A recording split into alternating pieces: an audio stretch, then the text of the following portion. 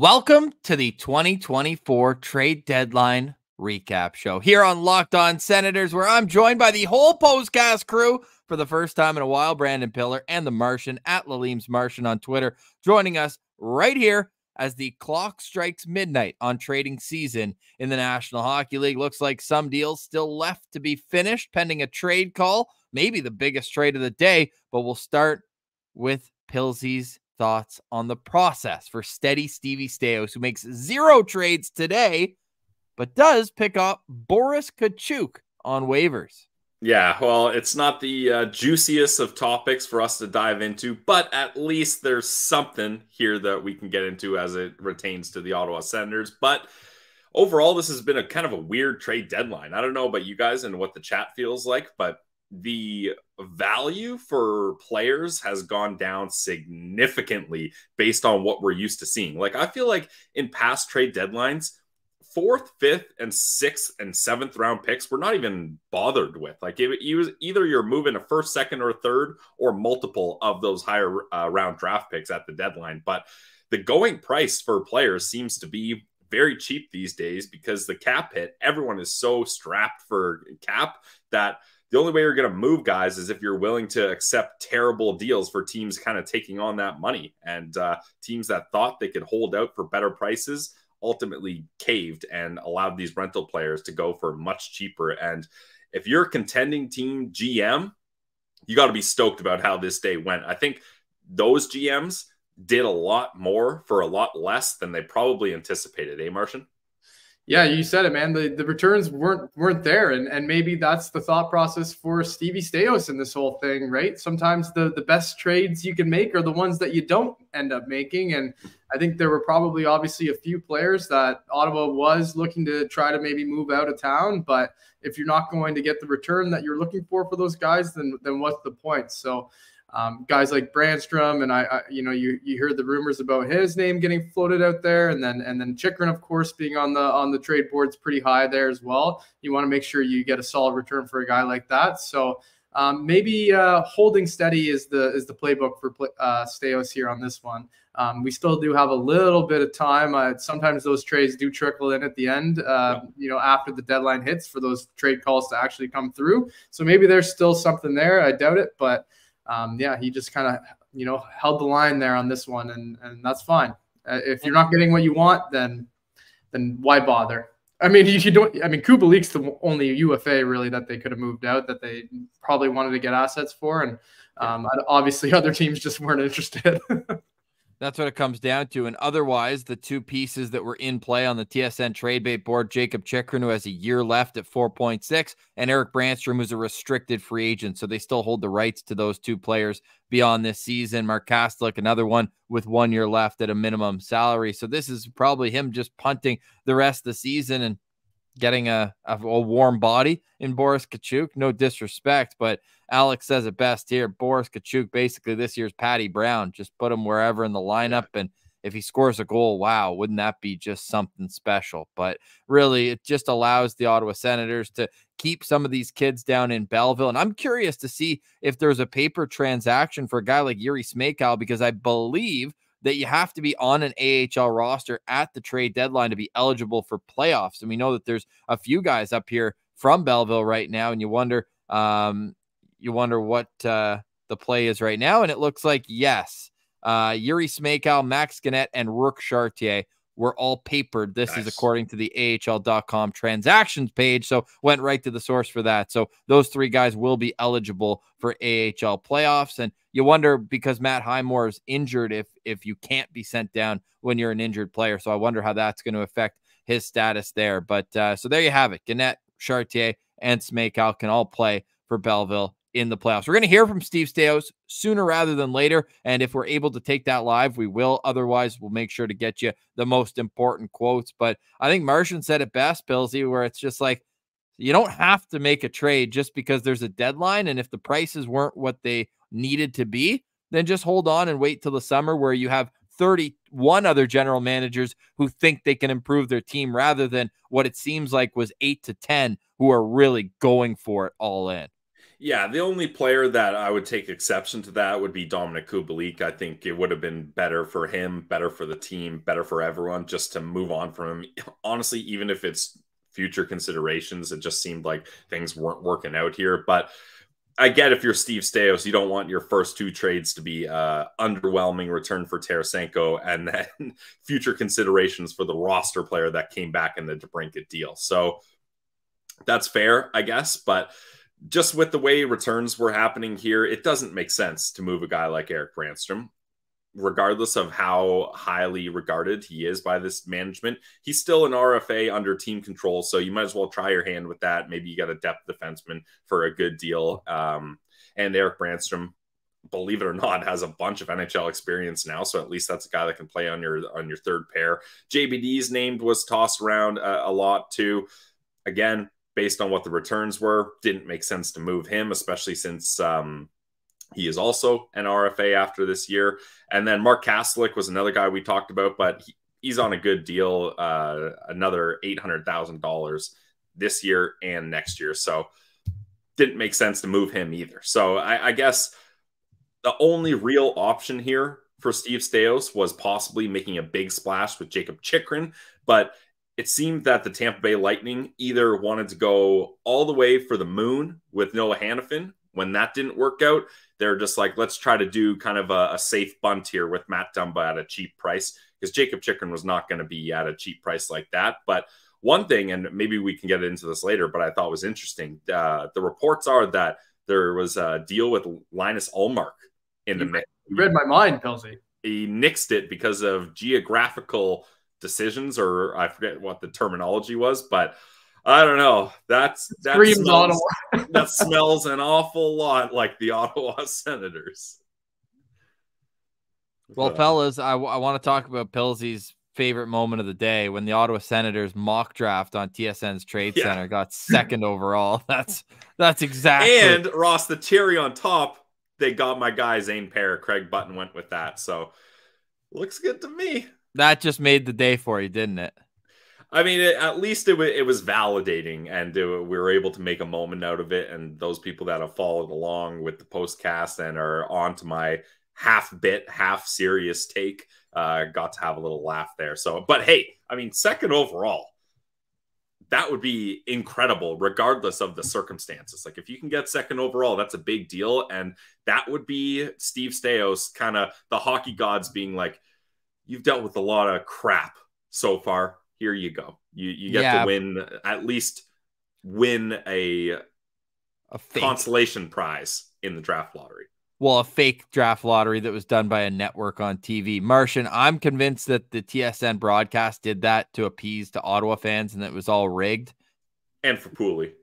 And yeah, they knew we were watching and that we didn't yeah. really have much to pay attention to. you know, there was there was nothing really happening in the in the world of the Sens. So maybe you're right. I think they might have just thrown us a bone there, Ross. That is so funny. Uh, in about 15 to 20 minutes, we're going to get a report from a diehard Chicago Blackhawks fan about B- Boris Katchouk. I know everybody's going to stay tuned for that. Our guy, Skylar Peters from 680 CJOB in Winnipeg. Yes. Skyler. Great, great guy. Going to make his uh, LOSP debut. He texted me at 2.30 in the morning and said, the fact that you guys have 130 people watching a postcast after a loss on a Thursday night in California, you guys are freaks. And uh, the yeah. citizens, we appreciate you guys so much as well. And we're going to get to a league roundup. Uh, and I've got some questions for the fellas about which division is most important to win, which 2 3 matchup is going to be just hell to pay. And maybe like the old Sens Leafs, where, yeah, the Leafs would win the series, but they'd never win the next one because they were so beat up from such a tough battle that they saw. But I'll start it like this Boris Katchouk, you putting him, I guess, third line, fourth line? Where do you expect him to start as an Ottawa Senator, Martian? Well, no, the entire internet wants him to play with Brady Tkachuk, so let's just throw him on the right wing on that uh, first line. I guess uh, I know that's that's just all tongue in cheek and kind of joking around because they got such similar names. But yeah, I mean he's he's a fourth line player, so he's probably going to be playing in that bottom six uh, left wing role there somewhere. Who knows? I mean, I like his game. I, I've I've you know I've always noticed him when he when he was playing with Tampa. You know, he was playing against Ottawa quite a bit. Um, I even noticed him in the in the games against Ottawa when they were playing against uh, Chicago this year. He's a grit grinder, right, boys? Like he's a physical player. He's a big body. He bangs it around. He's got a little bit of a scoring touch, I guess you could say. I, when it, when you look at a fourth liner, you know, five goals and four assists. That's you know in 38 games. That's not terrible. Um, so he, he's a try hard, right? That's what you're going to get out of him. And and and I like his age too, right? He's 25. He's not he's not too old. He's not too young he's kind of just like right in that you know he fits uh, the age group that the Sens are working with here. So uh, you know it's it's unlikely that he's probably going to be here next year, but uh, for the end of this year at least, he should be a decent fit with the group, and they obviously need depth. So um, you know Tarasenko out and Katchouk in. Here we go. Well, he's going to be uh, RFA at the end of the year too, which I don't think is insignificant. Do they have to qualify him? No, but they have the opportunity to keep him for another year if they want to move on from some other guys in the bottom six. And this is a, like like we said last year. I guess it was a UFA situation with Patty Brown, but you're you're taking it. This is the test run that Staios was saying, where it's like taking we're going to take a, a guy spin. for, take him for a spin, and instead of even giving up a sixth or seventh round pick, which was kind of the going rate for depth forwards, depth defensemen this year, you just take him for free off a waiver. So low risk move Masterclass sure. by Ma- Steve hey, Stais. Steve Staios masterclass right there. Who needs Vladimir Tarasenko when you can get Boris Katchouk? I was surprised that this was the waiver pickup they made and also the only waiver wire pickup. I, I thought there could have been a couple other options, maybe some guys on uh, defense that would have been interesting as well. Um, Are you saying Tony D'Angelo, Pilsy? No, that's not where I'm going. Um, but just just the fact that this team has so many injuries and the fact that Belleville is legitimately making a, a strong playoff push. Like you want to keep those guys in there. You want to help the the prospects feel like they're able to have some time in the postseason, and just to get a an ounce of respect for this franchise. I mean, low bar trying to get your AHL team to the playoffs, but it's all we got right now. It's all we got. really. That's that's the message you're gonna send the citizens here who just saw the Ottawa Senators win second in the in the lottery, in the fake lottery on TSN. You're gonna say Oh, I- this is all we got? In the immediate future, as far Okay. as hockey on the ice goes, Yep. that's that's what we got here. Okay. It's Well, not I- fresh, but it's something. Yeah. I know that the first round of the playoffs is going to be a ton of fun. Even sitting on the sidelines, being a cheerleader Oh, yeah. for, like, there's going to be the some un, unbelievable matchups. And Boris Katchouk, 38 games this year, five goals, four assists, 52 shots on goal in 38 games while averaging 12 27.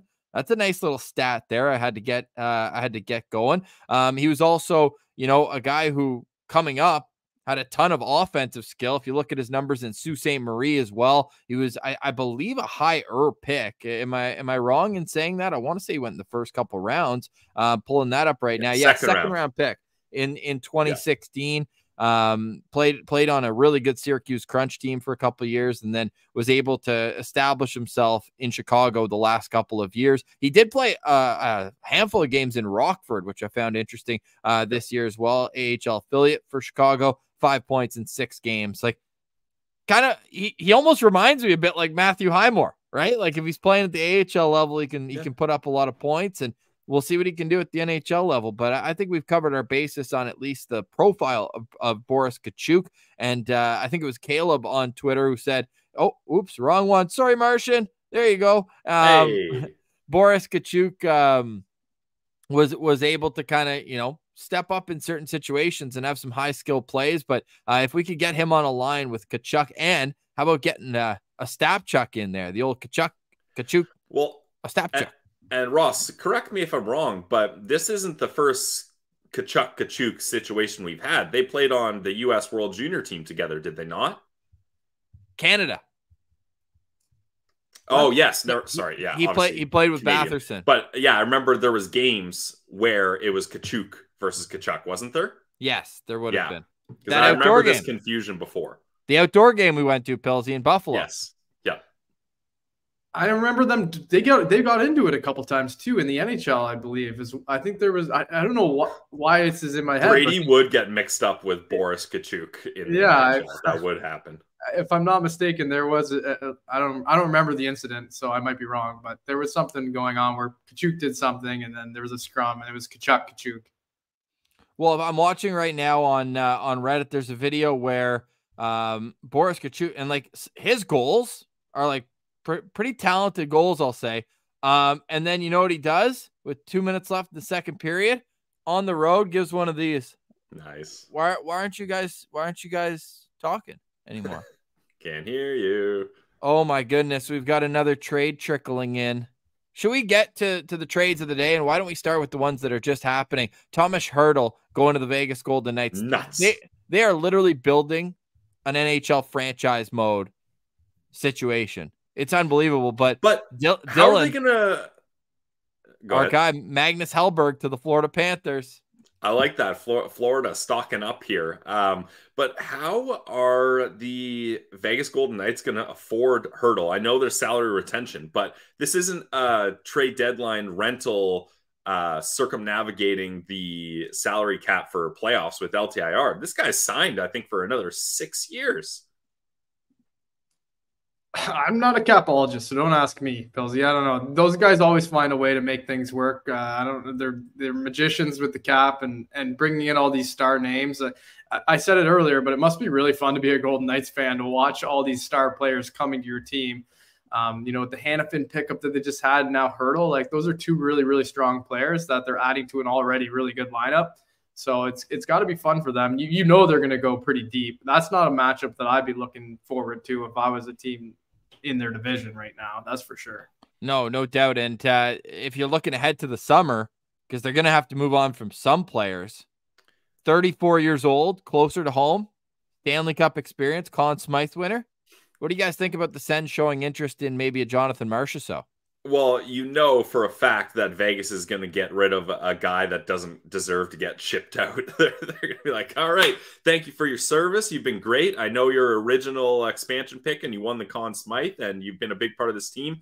But we found a younger, better version of you. So see you later. Uh, don't let the door hit your ass on the way out. Like that, it's definitely going to be one of those top guys. It has to be. But obviously Marshall Marchessault would be a great addition to any team. I'd love to have him on the Senators, but it just seems like another one of those scenarios where it's it's not gonna it's not gonna happen. Like how how much is left on his deal? Is this is it? No, he's a UFA. Yeah. Yeah. So What it's you not think? gonna he's happen. gonna If sign it does happen, it's a one year deal with a full no move clause. Yeah, Vegas has no loyalty to their guys. I None. mean, Marchessault's been there for a good good amount of time. Was he an expansion pickup? I believe he Yeah. was. So Yeah, he there- was. Well, they had to say bye to Reilly Smith, right? So he's been there since the beginning. Um, but I don't know. I don't. I don't. I mean, it could happen. And luckily, they don't have to make a trade with Vegas because that's something that I probably wouldn't see coming.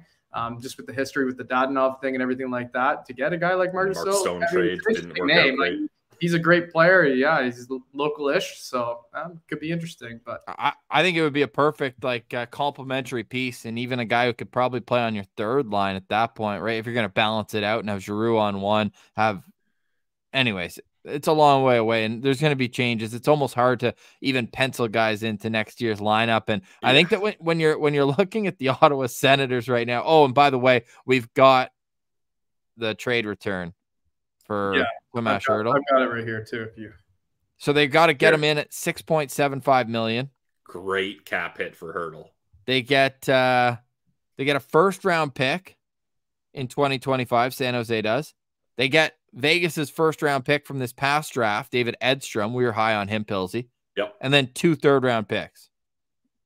That's that's a good haul. Uh, How many first round picks that they've made the selection has Vegas traded? So many. Zach Dean to St. Louis last year was a first round pick. Okay. David Edstrom, Eric Brannstrom, Nick Suzuki, Cody Glass. What Peyton combined? Krebs. Peyton Krebs, yeah. So that's a lot. That's the, every year. They, that's almost every year. Yeah. they're the probably the people who want to decentralize the draft. They're like, we don't have to give these kids a jersey. They're never gonna wear it. Yeah, but make sure you do the draft in our town. Yeah, yeah, yeah, exactly. yeah, the, the hotels are really needing the business. So if you could Yeah. please help us out, that would be great. Oh my goodness. Um, I will say they're gonna be must watch TV down the stretch. Absolutely. And you know what? Like Uh, for all the people that are like, "Oh man, how does Vegas keep getting away with this blah blah blah." I love this. Like the NHL needs a villain non-traditional franchise to to muddy the waters a little bit, to roll around in the mud. Like it, they need that, and it's it's fun to watch and say what you want, but they're good. They just they're the reigning Stanley Cup champions, and they make hockey exciting. Whether you love them or hate them, it's it's also fun to hate a franchise collectively. So I I think it's great.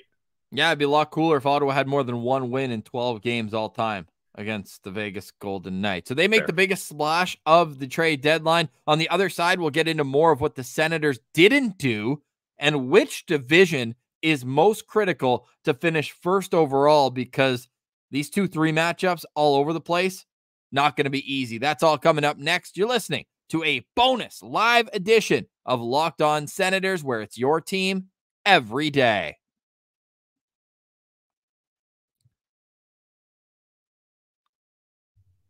This episode is brought to you by our friends over at Factor. Guys, are you sick of trying to figure out what you're trying to have for dinner? I was having this exact problem today. I was, uh, my girlfriend and I were trying to figure out okay, what's a way we can have a healthy dinner that's not going to take too long to make, not going to cost too much, and your head just starts spinning and you get frustrated? Well, get rid of that and get started with Factor. Skip the grocery stores, skip the prep work, skip the cooking fatigue, skip the stressful, what are we doing for dinner texts at 4 p.m. Factor has you covered. They offer two minute meals. You got that's your secret weapon for the year. They got lots of snack options, breakfast, smoothies, juices, whatever you like. So skip the overpriced takeout trap.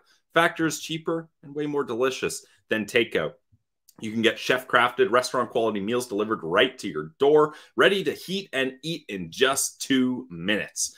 Need a special occasion meal? You want to get a little more fancy? Well, they got Gourmet Plus if you're looking for upscale options. Not only do they offer fast, simple solutions when you're too busy to cook, but they help you stay on top of your goals with healthy options as well. So head to factormeals.com slash locked on NHL 50 and use code locked on NHL 50 to get 50% off. That's code locked on NHL 50 at factormeals.com slash locked on NHL to get 50% off. Check it out today, guys. Factor. This episode's also brought to you by Indeed. If you are building a team, you need Indeed. And whether it's sports or business, you always want the top candidates. And at Indeed, it's the only job site where you're guaranteed to find quality applications that meet your must have job requirements, or else you don't pay. Instead of spending hours on multiple job sites, finding hours and hours and hours going to waste, go to Indeed and find their powerful hiring partner that can help you do it all. Indeed partners with you every step of the hiring process from matching, assessments, and virtual interviews. Indeed makes it easier to hire great talent. According to ComScore, Indeed is the number one job site worldwide, and Indeed delivers four times more hires than all other job sites combined according to Talent Nest in 2019. Join more than 3 million businesses worldwide that use Indeed to hire great talent fast. Start hiring right now with a $75 sponsored job credit to upgrade your job post at indeed.com slash locked on. Offer is valid through March 31st. Go to indeed.com slash locked on to claim your $75 credit before March 31st. Indeed.com slash locked on. Terms and conditions apply. Need to hire? You need Indeed. All right, welcome back to the live 2024 trade deadline recap where the Ottawa Senators were very quiet, eerily quiet, not only by making just the one trade, sending Vladimir Tarasenko to his preferred destination of Florida for a third and a conditional fourth round pick, but claiming Boris Katchouk off of waivers. Martian, the streets have been pretty quiet of late, hey? Yeah, I mean, well, the Sens haven't done much, so that's probably a lot to do with it. When there's no news to to come down to the streets, um, that's what you're going to get. So uh, it makes sense that they're quiet since uh, nothing's happening. Pilsy, what's what's the play to finish the year? Like, would you be bringing up some of the kids? Would you be bringing up an Angus Crookshank right now, or someone else, or are you just letting it ride with Boris Katchouk, Parker Kelly, Mark Kastelic, and Boris Katchouk, all or sorry, Dominic Kubalik, all in the same lineup. I mean, I I think you have to. You you can't be ruining Belleville's chances of making playoffs. And I know maybe some, some people are like, who who cares about that? It's all about the NHL team. You got to try to put the best product on the ice or give guys like Crooker chances to play in the NHL and stuff like that. And that, that's fine. I can appreciate that opinion. But it just feels like every time we've had discussions uh, with people on the show about how important it is to build the foundation blocks in the AHL to ultimately carry that success over to the NHL. I think that is the crucial part here because you need to build some sort of uh, chemistry and morale boost for these young prospects that the hard work they've put in in Belleville is going to pay off and they're going to get to the playoffs. So personally, I, I, think you just leave all the kids in Belleville, let them do their thing, and let the Ottawa Senators continue to truck along here and suffer through the rest of the season. Suffer is yeah. a great way to put it. Yeah, yeah you, I mean, you got to hope that a, a, few of these guys, you know, make it eventually to the the, the big club, right? And, and, going through a playoff run and hopefully having some success in that run could help, you know, bring up a little bit more of a winning culture, which is something that we're we're not seeing a lot uh, in Ottawa right now. So hopefully the guys in Belleville can do some damage and then gain some confidence. And, and like you said, Pilsy, bring that to Ottawa. Uh, yeah, when they get the chance. Pilsy, what do you think the message from Steve Staios is going to be when he speaks to the media this afternoon? I, I think it's going to be basically a repeat of his press conference in what was that Anaheim or was that in LA? The market dictates. Yeah, like yeah. there there wasn't a lot of options for him. Other teams had better low cost rental options here. I, I don't think he's looking to move assets just to move assets. Like I mentioned, I think the only one that would have made sense there was Dominic Kubalik. So this this is tough. This is like if Steve Staios could go back six months from now or however long it's been when he was brought onto this team, I can pretty much guarantee you he did not expect that this was going to be the trade deadline he was going to have. No, that's that's that's a far cry from reality. And how do how do the players manage this? I think this might be a better question for Meth, but like a guy like Jacob Chychrun, his name's been in the rumor mill. He was the fifth place player on the NHL trade bait board does he breathe a sigh of relief or is he still kind of gripping the stick, being like, I got 20 games and then I'm going to have to go through this all over again in the summer? Yeah, I, I think Jacob Chychrun's probably in a weird spot right now. And it's to be tough too when you see Vladimir Tarasenko get shipped to his preferred destination. He gets to play on a top line in Florida, the arguably the best team in the NHL right now. Like, that's got to be tough. Like, obviously, part of you is like, well, like I, I don't want to leave here. You know, I, I've I've settled down here and stuff. But then another part of you is like, man, it would be an exciting breath of fresh air to be able to get out of here and go somewhere else. But uh, honestly, it, at this point, like Vladimir Tarasenko earned and deserved that right. I wouldn't say the same for for Jacob Chychrun as of lately. Yeah, and I mean he's he's got the experience, right? In Tarasenko, he's got the Stanley Cup. He's older, all that. Jacob Chychrun doesn't even have his own decision to make after next year. He's still a restricted free agent, so they're going to be able to, you know, figure out something that works long term. I'd imagine, kind of more like not the quality of player, but more like Matthew Tkachuk did when he was moved, still as an RFA. Let's get around the league, Marsha. Before we let you go, I want to ask you about which division is going to be the most critical to win. When you look at the one, two, three situation in all these divisions, which one would you want to stay away from having to play the third ranked team if you're a team that's battling for the top? Well, uh, help me out. Pull up the standings for me here, Ross, just so I can I can have a little quick visual here to see where everyone's at because I'm not 100. percent I'm not look I'm not used to looking that high up in the standings. to be honest with you, um, but I, I, yeah, so we'll do we'll do the East first. We'll do the sure. East first. So Florida, I I mean, it's still one point, but Florida we'll, does have a we'll game down a little bit to see the wild card teams because that plays an effect in this as well. Yeah, well, the, the, the East is kind of well, easy, right? Because I mean, you look at the Metro, you, you know, you, you win that division, you, you're going to be facing, you know, one of these weaker teams. I feel like the Metro is kind of an easy, easier division, so I wouldn't say that one's necessarily the most important one to win. Um, so for the for the sake of the East, I would probably say you know the the Atlantic is is a little bit of a tougher division there. Um, if you're Toronto or Boston, there's not a great chance of you catching Florida after all their pickups and the way they've been going. So those two teams are going to have to face each other. So that's not a perfect scenario, I don't think, especially for Toronto with their history and their recent losses to Boston, the, the you know in the last two weeks or so. Um, so I, I, would say in the East, I would go with uh, I would go with the Atlantic is the most important to win. It looks like Florida's got that pretty much on lock, in my opinion. Although the Leafs have been rolling too, so they might be able to make some ground up, but I'm not too sure. Um, and then in, uh, in, the West, I mean, geez, man, both these conferences are strong, right? You- and I think you could probably go ahead and and push LA out and put Vegas in the top three. I know they've been struggling a little bit, and Thomas Hertl is injured right now, expected yeah. to be back before playoffs, but that's not going to be a wild card team. No, they're they're going to be picking up steam at the perfect time for the playoffs here too. Man, I would hate to have to play the Jets. Um, and I, I, there's a good chance that they're going to catch the Stars too. I think too because they they made a couple nice acquisitions as well. I know the Stars did as well, but um, I think that I think that Dallas is is kind of in a tough spot there because if they get caught by Winnipeg, they're going to have to play Colorado, which is not uh, ideal. Obviously, they made a really nice trade during this deadline. It was probably the only hockey trade that we saw made during this entire deadline. It was, in my opinion, probably the most exciting trade too. You get Bowen Byram going uh, to Buffalo for Casey Mittelstadt. It's a one for one, two young guys who have shown success at this level. So I, I I'd say for me, it's it's it's kind of if I had to pick a team I didn't want to be, would probably be Dallas right now, even though it, they're you know they're locked into a playoff spot. But who they play is going to be really important for how they do down the, down that run. Penalty. Yeah, I think uh, if you're in the Metro, you want to finish second. Uh, if Philly stays in that spot, I think you want to play the Flyers over uh, the Red Wings or the Tampa Bay Lightning.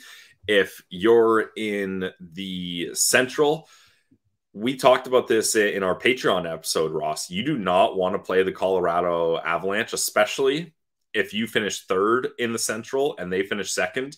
Their home and away records is night and day. Like their home record is absolutely amazing. Obviously, they they are probably the team with literally the best home ice advantage when it comes to the altitude. Uh, a lot of other teams are not used to playing in that altitude, especially if you're playing in a seven game series. When they're at home, they're killing it.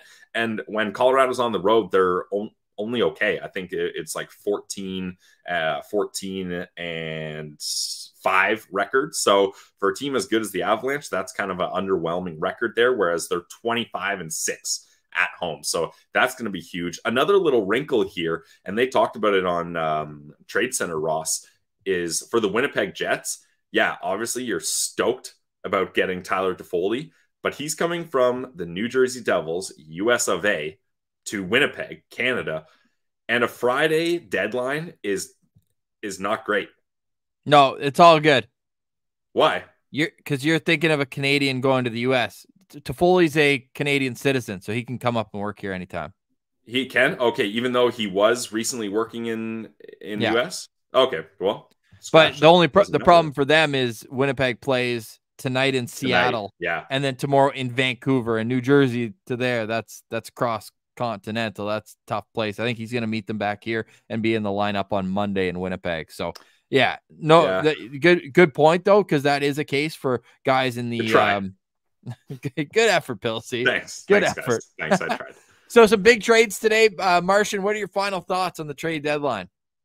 Uh, as far as they go, it, was a bit of a snooze fest, boys, especially from our perspective covering the yeah. Sens, right? Like there not really anything going on there. I know you guys covered the Tarasenko trade in depth already. Um, so yeah, for, for me, it was it was kind of a boring one. I'm usually I get up for this one. I usually get pretty excited for the trade deadline day. Love tossing on TSN in the background while I'm working all day and uh, it's usually fun to watch, but uh, I, I kind of feel bad for those guys that there wasn't a whole lot uh, going on in this one. Although there was a, that Thomas Hertl trade at the end that might save them a little bit, but uh, yeah, it was, yeah. A, it was boring. and, and, Bob McKenzie coming out of nowhere too, and and just being like, "All right, I'll, I'll just hit you with the biggest trade of the day," and then back to uh, back to his homestead down back to the Florida. cottage. Uh, Martian, yeah. great yeah. news, buddy tomorrow. You and me on the postcast, and uh, we automatic got, dub. We got four wins in a row, pal. Let's get five, buddy. We're sitting on four wins in a row. Oh, I am on, I am on. I'm securely on Team Tank now, so maybe a loss win. Yes. It's a win-win for us, Ross. We get to either break down a great Sens win, or we get to uh, you know, enjoy the fruits of falling further down in the standings and hopefully getting a better draft pick here. Uh, I, I, thought I can't believe I, am saying that. Um, you know, earlier in the earlier in the season at the at the start of the year, I I would have probably been very upset with myself for saying something like that. But this is where we're at. That's Lalime's Martian. You can follow him on Twitter at Lalime's Martian. Thanks for doing this, brother. We will see you tomorrow in see the buddy. Anytime, boys. Love you guys. Catch All you right, later. Love you too, brother. Hey, say hi to Skylar for me, eh? My uh, my golf buddy.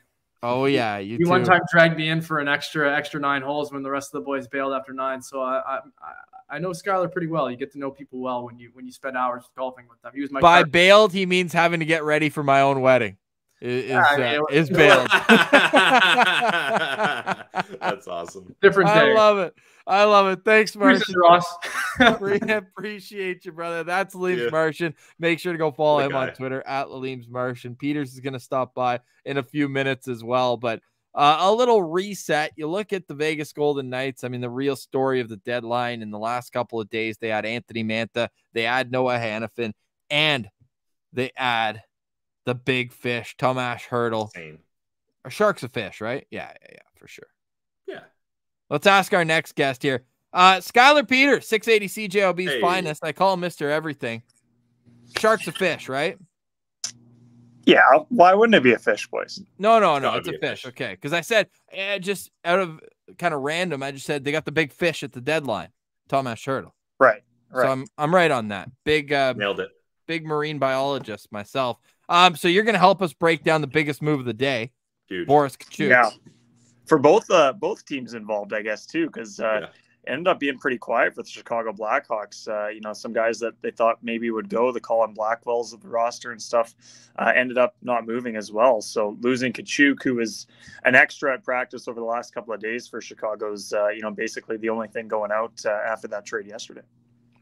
What uh, what is your scouting on Boris Katchouk for Ottawa Senators fans that have only seen him when he comes in to play the Sens? Yeah, I, I don't know if you're going to have to plan a parade around this waiver wire pickup, boys. I'll be honest with you. Um, you know, he's a guy that he was part of the Brandon Hagel trade uh, when they sent him to the Bolts a couple of years ago. I'm sure you probably mentioned all this on the program already, but like the as a Blackhawks fan, the other than the two for oh, oh I I know that all too well. Go ahead. Oh, I think we got I think we got you muted there, Sky. I don't know if he can hear us. I love should we just let so. him roll? I love this is probably this is probably the the um Oh, there's so much information that we're missing out on right here. He's cooking. He's cooking right now. I wonder if he's just covering his mic. This is all time live programming for you. we can't hear. I don't know if you can. Can you hear us? We can't hear you. I love it. I love. All right, and that was the Boris Katchouk uh, scouting report. That's the Boris Katchouk scouting report. He's had enough of us. Skylar's an absolute beauty, by the way, one of the best in the biz. Um, he really is a great guy too. Uh, he'll jump back on. If anyone's been there when I do the, uh, yeah, can anybody lip read that? Can we get a lip reader on? There Skylar, we go. We He's back. We need the lip reader. I don't know, boys. Nobody calls me all day on trade deadline day, and then I hop on one live. Your big moment. And and the second that I hop on with you guys, somebody tries to call me and cuts me out. So sorry, but uh, all good. Yeah. Let's uh, let's run it back on that Boris Katchouk scouting report. It, it well, looked like you had a lot to say, so we want to yeah, hear it. I, I'm uh, I'm going to be honest. I think the, the first take's probably going to be. I know this all too well. No, this, here is someone calling you again? They don't want us You're to know. popular guy. they don't want us to know. This guy is killing me. and the worst part is, Ross. He knows is, this time at least. Is he? Is he at work? Yeah. How does a radio station, a communications company, have the worst internet and cell service in the city of Winnipeg? It's it actually makes mind-boggling.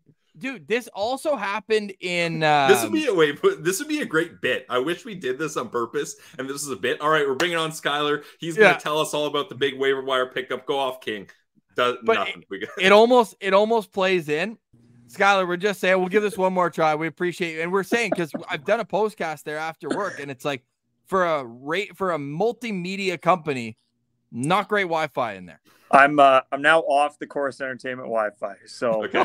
we'll we'll see what happens here, boys. But okay, third time's the charm, and yep. if I see Ross's lips moving and I don't hear anything, this, this, is a bit. This is a joke. You're this, done. This is a bit. It's over. This it's is a over. bit. It's over. love you, Skylar. That's this is hilarious. I love it. Okay. Basically, Boris Katchouk. I'm going to read you what he said to me when uh, when the there when we go. It happened. Can we I get mean, a pigeon sent to Winnipeg and uh, we'll do this pigeon carrier style? My God. Come on, incredible. That's amazing. So I'll just read you what uh, what he said there. Guy has flashes, but that's about it. Definitely more of a passenger than a driver. Decent at getting in shooting lanes though, so he can play some PK. Pillsy, is he going to average more? Is he going to average more or less than the 12 minutes 27 seconds per game he had in Chicago? Less. But I mean, this is also a guy that he's he's playing for his next contract. He's playing for interim head coach, so Jacques Martin isn't going to be playing too many politics here. He's just going to play whoever thinks he whoever he thinks is deserving of the ice time. We've already seen that. He's elevated Parker Kelly before, um, so it, it wouldn't be that crazy if Boris Katchouk comes in here and does exactly all those things that we got to hear Skylar talk about yeah. then he could be elevated in this lineup and he could end up uh, playing more time than he did in Chicago. So we'll see. Ross, at least, you know, it's it's not much, but it's it's something we can at least look at here for the Ottawa Senators as they make zero zero trades on the trade deadline day. But based on the comparables that were out there, Noah Hanifin, when you're looking at Jacob Chychrun, even though Hanifin is an excuse me, an expiring contract, and then what did Matt Dumba end up going for a fifth round pick in 2027? Remember yeah, when the asking price was a first round pick for Matt Dumba? I can't thank God, Ross, that the Ottawa Senators didn't do that the four years in a row they were rumored to be going after him. That is I I honestly I'm happy. Content aside, I'm happy the Sens stood pat for the reason of the prices were just brutal. Other than Dominik, I would have been so glad to move Kubalik for future considerations. Of course, but you can't Other make that, somebody no. take uh, even a one point two five million dollar cap hit. That's not something that every single team can fit under their their uh, cap right now. No, it's true. Well, that's why. And Ross, the Nashville Predators basically did all the types of moves I was talking about, getting cheap rental guys just to give their players well-deserved reinforcements. They get Denis Gurianov, they get Jason Zucker, and uh, they made one more move that I'm that's slipping my mind right now, the Nashville Predators. But they made those types of moves where they're just giving their lineup a bit of boost for ultimately what a, a fifth and not much. I, yeah, uh, like late round picks. So I really hoped Kubalik would kind of get thrown in that mix as well, but ultimately it doesn't happen. Pillsy, you know what I did today while we were watching Trade Center, and uh, obviously it was kind of just a wait and see approach with the Ottawa Senators. Sure. I started making our our draft rankings table. We've got the schedule coming out where yep. it's like, okay, so we're gonna do two players a day for the top 15, and then beyond that, it'll be three players a day for the rest of the first round, and then up to four players a day for second round picks, where it's just kind of a quick synopsis of what's going on with them. But this is this is where I'm at with 21 games remaining in the season. I'm starting to look at the list, check it twice. Some players, Tij Iginla is hilarious to me. That like that's how uh, that's how I know I'm getting old. That yep. A guy like he was in the NHL in like the like the 2010s. Like Iginla was a big part of our childhood watching hockey for sure. Absolutely. And for for him for him and obviously the senators new scouting staff is going to be interesting to see what they find as the number one number two number three reasons why they draft players. I don't think it's going to be heart skill and athleticism left shot, left shot defenseman as well i mean there, there's a ton of talent in this draft and it sounds like the cutoff is around 20 where we're going for like a big drop so okay. whether the sens draft second first or anywhere in the top 10, they're going to get an elite prospect. They're going to get yeah. easily, heck, the second prospect they draft with the late first round pick or with their own early second, even all three of them might be after One, the two, draft, one, two, and three in their top prospects. Yeah, definitely. Especially right up there. with guys like Kleven probably graduating, like right yeah. up there with Vladimir Nikitin as well. Yes, our guy, Vladimir Dude, Nikitin. Beauty. People are loving that interview. And uh, Abby Murphy was awesome too. So if you missed it yep. already, obviously it's a busy day, but check that out over the weekend. Yeah, definitely. Um, do you want to just do a classic win- winners and losers of the deadline, Ross? I've never heard of that segment before. How does it work? So, how this works is we will each pick a team who we perceive to be winners of the trade deadline because what you need to do every time a trade is is uh, announced and finalized, you have to grade it and say who won or lost, and then the future be damned doesn't matter. Um, I, am to go and and take the low hanging fruit, Ross, since I'm the one that thought up of this great segment. The Vegas Golden Knights are easily the biggest winners of this trade deadline. I mean, talk about going big game hunting, and then they pull off. Um, Elliotte and Jeff Marek always talk about this. There's always one deal near the end of trade deadline that nobody had a sniff on and nobody expected, and it ends up happening. The Thomas Hertl deal was was that one here. Like I didn't. It's and it just seems weird to me that the Sharks decided to do this now. Like that seems like such a deadline deal. This Sharks team is gonna be amazingly terrible next season. Like it's going to be impressive how bad this Sharks team is going to be. I would almost keep Will Smith in school for one more year. Like, oh we yeah, don't, we don't want time. you anywhere near this. Like take your time, develop, and yeah. um, look. Should should I be a homer here? Like a set? Like uh, obviously we got the the it. Keith Tkachuk jersey back there. I'm between the two teams in the Central, and that's what made me start thinking who do you not want to play in the first round? And even like Dallas's Dallas's sneaky deadline pickup up front was Logan Stankoven coming up from the AHL and being like, "Oh wow, I'm I'm legit." And then they yeah. added on the back end with Chris Tanev, and that's they, all they needed to do. Tanev was all they needed to do. Now, where Winnipeg already had the advantage was in goal. Yeah. Right. Who are you trusting in a playoff series? Georgiev, Oettinger, or Hellebuyck? Hellebuyck. Now, mind you, sure, Oettinger down year, but he was absolutely lights out last season in or uh, last postseason. So there are goalies, Ross, where it's like, okay, just make it through the regular season, especially a young goalie. Regular season, they're not used to going through that full grind, but come playoff time, they can flip the switch and get it done. Yeah, that's fair enough. But uh, Winnipeg, if you go back a month and they gave up their first round pick, they got Sean Monahan. He's been a great fit. And now, oh, whoa, whoa, 67s. They get hmm. the old teammates back together with Tyler yeah, Toffoli coming to the Winnipeg Jets. And those two were so elite in the AHL or in the OHL together back in the day. Monahan ended up going, I believe, sixth overall, and Toffoli was like in the mid teens in uh, in his draft year. Those two were unreal. I'm sure people in the chat were uh, were watching those guys back in the day at the Civic Center, and you look at what they're doing now at the NHL level. They even played a little bit together in Calgary uh, before uh, Toffoli moved on. Toffoli's on his fourth Canadian team, by the way, and third for uh, for Sean well, Monahan. And, and they mentioned uh, born, I think, in the Toronto area, GTA area, and then playing junior in Ottawa. Like the only place he hasn't really dipped his toes in is Edmonton. Yeah, really. And maybe they and, see see him in the playoffs.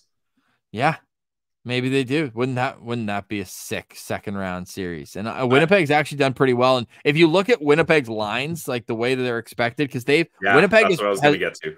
Dude, their third line is is been together all year. They're not going anywhere with Lowry, with Niederreiter, and with Appleton. Appleton, Oof. to me, you could probably flip either, and even the fourth line is like it's guys who this is what Ottawa needs to do, where you get guys that can play up and down the lineup yep. and fill roles. Rick Bowness huge on different roles, but having a fourth line of Namestnikov with Morgan Barron and Alex Iafallo is like that's a, that's a great fourth line. And then their top six, I mean, they love playing Ehlers on left wing, and that's been a bit of a topic of discussion here in Winnipeg, where people want to see Ehlers on the top line. But Kyle yeah. Connor obviously has the pedigree, the goal scoring that he's there. So Scheifele, Connor, Vilardi Monahan, Ehlers Toffoli, Like that, that's a pretty solid top six. And Colorado added. So for me, it's either Colorado or Winnipeg that wins the trade deadline. Because Colorado, even though they gave up Byram, they probably got um, a better fit in Sean Walker on the back end, and then were able to use that asset to get another position of need at second line center. So yeah, absolutely. Now, one question I have for you, Ross, because you're dialed in on the Jets. Were you surprised that they went and used assets to pick up another forward as opposed to a defenseman? I know you had mentioned you kind of thought that they would get, uh, you know, maybe not an impact defenseman, but an extra guy just for the playoffs. Were you surprised that the Jets didn't go ahead and do that?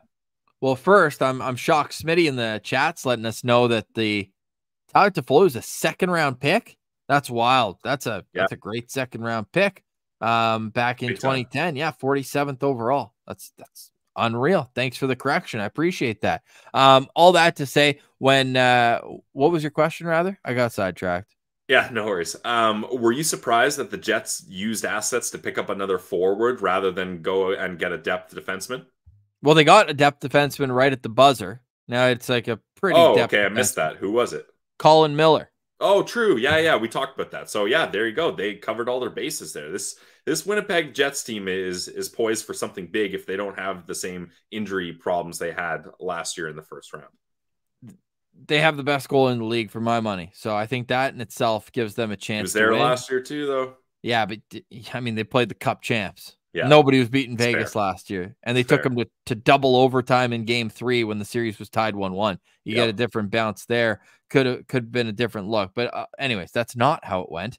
Um, and if Dallas wins that division and it's going to be Colorado Winnipeg in the first round, I don't like that matchup for either no. team. I think no. that that would just be a heavyweight battle. What would be more must watch TV though? Winnipeg, Colorado, or Edmonton, Vegas? I think I got to go Edmonton, Vegas.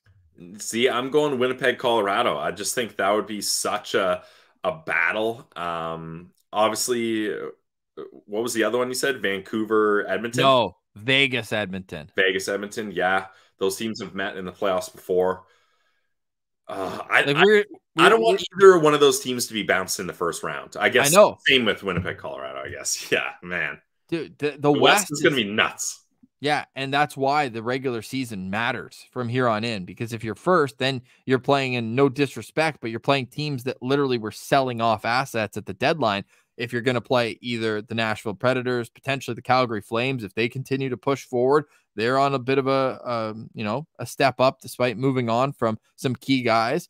Even Seattle, St. Louis, those are all tied at 67 points. So it is a longer shot. Most likely Nashville, LA for me are going to be the two wildcard yeah. teams, but the difference in quality between Nashville, LA, and then looking up and seeing Vegas, Colorado, Dallas, Winnipeg, Edmonton, like yeah, that's I know that Va- Vancouver's falling a little bit with only four wins in their last 10. However, they have won three in a row. To me, they they've got a nine point lead right now, but Edmonton has four games in hand.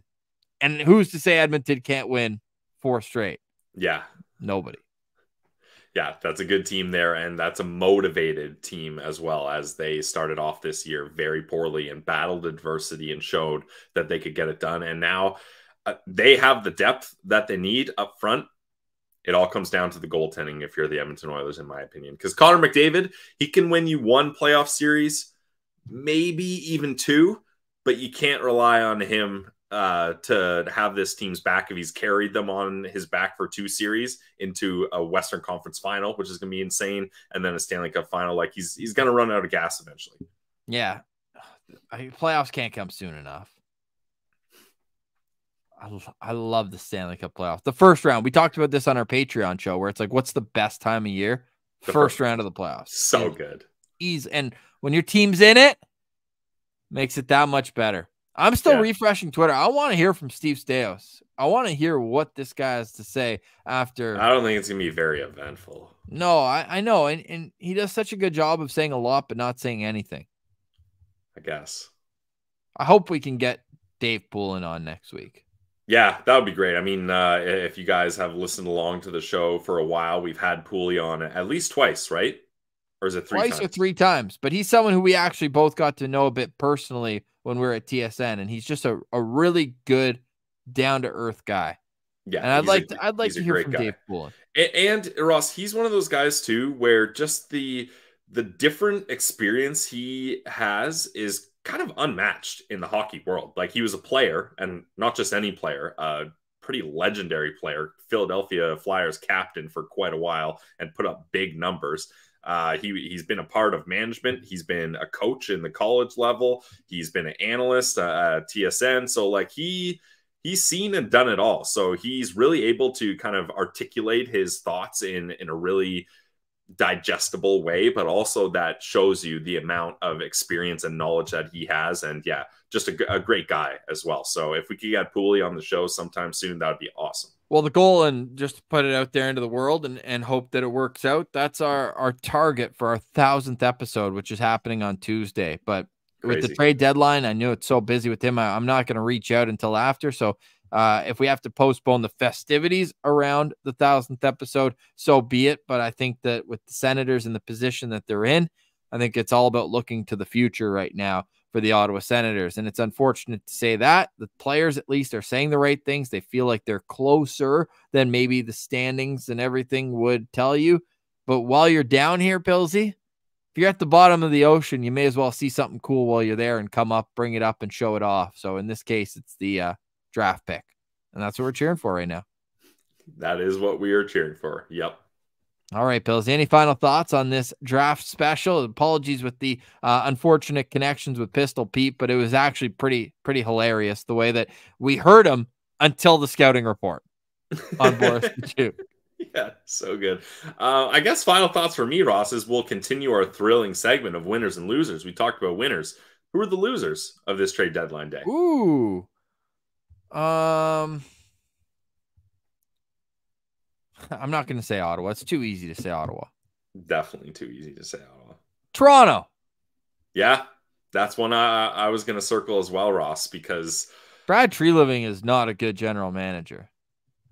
Yeah, I don't. But also, I think this is a year where the Maple Leafs are looking at themselves and are like, this isn't our year. Like I, I, really thought last year was a better opportunity for them, and it, it, was a better opportunity for them. And I think they're just hoping that their star players can elevate them to win another playoff round and and see where it goes from there because they they just don't have the the full pieces to to go deep, especially with how good other teams are here. They they just have absolutely no draft capital to move either.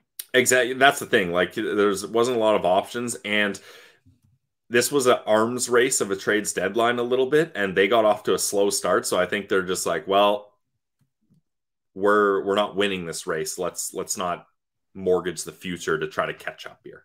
Yeah, because they do have those two prospects, Easton Cowan and Fraser Minten. And uh, Brad Treliving said they were not going to include either of them in any trades. To me, it's kind of silly when you've got Auston Matthews. You should probably be trying to go for it every single year. Um, but as good as the Matthews contract is is this year at 11.6, uh, John Tavares is is equally as bad at 11. So um, those are my thoughts on the Toronto Maple Leafs, who only have one draft pick in the first three rounds this year and zero in the first four rounds next year. So um, the windows are my losers are the Leafs and the Lightning because enjoy this this last push, both of you. The window's closing, baby. I don't know if I would put the Lightning as losers though. They get Matt Dumba for super cheap. They get Anthony Duclair. Like Duclair was a nice pickup. Yeah. Now, did, did they win the trade deadline? Absolutely not. But I, I don't know if I'd put them in the loser category there, Ross. No, for me, it's more so that their their window's coming to an end. Yeah, in my I mean, opinion, everyone's everyone's time is up. The that's the kind of the cyclical nature of sports, right? You got a cycle where it's your championship window, you build, build, build, push, and then you gotta you gotta hit that downturn. Uh, Unless you're Boston.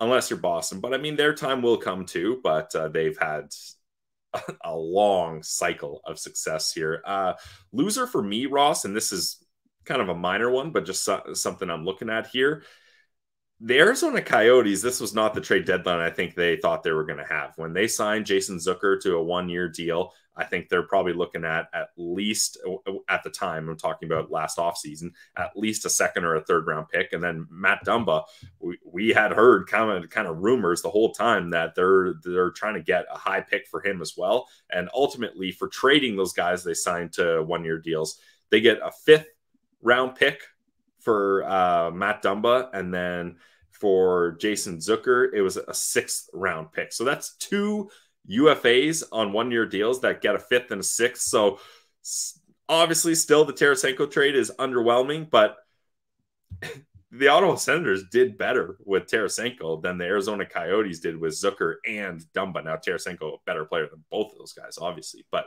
still, it's that's not how the Arizona Coyotes probably thought this was going to go for them. Well, not only that, Pilsy, like the draft pick they got for Dumba doesn't even show up on CapFriendly because they only have the next three years. Yeah. A fifth like, in 2027.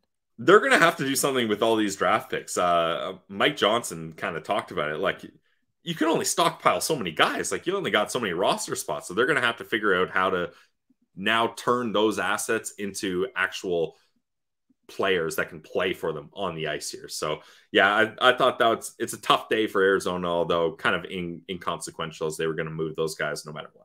It's going to be a great race to the finish. What I'll leave it at this is look, we had a great trade deadline season in terms of content. We had some great guests on the show. Um, even just even last seven days ago, Angus Crookshank was on the show. And look, we had great interviews today's show. We had Marc Methot yesterday. Now it's really time to reload as we go into episode 999 on Monday. And we we have to focus on this draft and the summer because it's not only going to be the draft, Pilsy. We're going to have a lot of content around the coaching search for the Ottawa Senators. We're going to be very interested at the couple days after the regular season and even the first round of the playoffs. Sometimes, if teams have Stanley Cup aspirations, even a couple years ago, Barry Trotz wins the cup with Washington and then they go their separate ways. So the coaching search throughout the offseason will be very, very intriguing. And I'm looking forward to covering it with you every step of the way. We've got our boots on the ground coming up at the end of the month in Winnipeg and in Minnesota.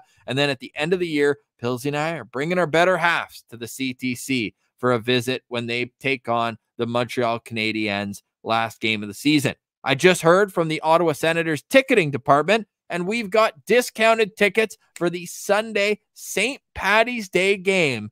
Also known, hey, if they're celebrating Belly's birthday in Belleville, we're celebrating Pilsy's birthday in yep. Ottawa. Get your tickets. Pilsy's going to be boots on the ground. I work 4 a.m. to noon that day, Pilsy. I looked into flights. There's literally not a flight that would get me there on time. I would have done it for you, buddy, but we will be having a blast. I'm sure you will celebrating. I'll be watching along and following. Sens Hurricanes. We will post the link for discounted tickets to that game. Pilsy's in section 210. So if you guys yep. want to be around, have a good time, get the vibes going up. Oh, the rum and cokes will be flowing in oh, that St. Patty's Day game. So I uh, just want to say that we've got that link available. I'll post it in the comments to this video. So if you're listening to this, go check it out on yep. YouTube and get, get those tickets, baby it's a birthday gift from me to you. It's it's the old reverse birthday gift. So hey, and I just want to the more the merrier. Let's uh And let's you don't want back. gifts. You don't want gifts. No, I don't I don't want gifts. I want to give Sens fans the gift of discounted tickets. And the Carolina Hurricanes are traditionally a team that the Ottawa Senators does not do well against. So we need all the kind of might we can get. I know we're on team tank here, but for boots on the ground, you want to see a W. So I'm, oh. I'm, I'm pushing for that big time. By the way, if they lose to San Jose tomorrow, they will be 0 13 and 1 in the Western Conference this season. Wow. 0 13 and 1. Okay. So then after that game, they will only have two more games remaining against the Western Conference. Wait, how does that work? What do you mean? Oh, because the no. How does that work? Do, aren't there 16 teams in each conference? Yep. Oh yeah, they'd be 0 13 and 1 with two games remaining. Well, guess okay. what? I'll take we're, your word for it. We're at both those games. Yeah, true. Yeah, those are the last uh So Western imagine they go 2 and 0 and we go 2 13 and 1 on the season, but we're 2 and 0 against the Western Conference. Legendary. We're 12 0 1 boots on the ground. Anyways, appreciate everybody for joining us for this trade deadline special. Super appreciate everybody for being here all week on Locked On Senators. I don't even want to count how many hours of content we did between all the postcasts, the trade reaction video, everything else. We really do appreciate everyone for riding along with us here on Twitter at SensCentral, Instagram locked on dot senators, subscribing to the YouTube page. It all really does add up and make uh, make it uh, what what what should we say even more motivating rather than uh, rather than coming in here and talking to ourselves about a team that is really struggling. So tank Sens tank. I love that, Alex. Let's get some tank Sens tank in the chat, ripping off the band aid of another trade deadline. Thank you, Owen. Appreciate the kind words. We'll be back on Monday to kick off 1K week on Locked On Senators. That's Brandon Piller. I'm Ross Levitan. Shout out to the Martian for joining us earlier. Shout out to Skylar Peters. He will make his proper LOSP debut sooner rather than later. Great guy. Go follow him on Twitter as well. Great follow. Great dude. That's Brandon Piller. I'm Ross Levitan. This has been the trade deadline special of the Locked On Senators podcast presented by SensCentral. We're a part of the Locked On Podcast Network, your team every day.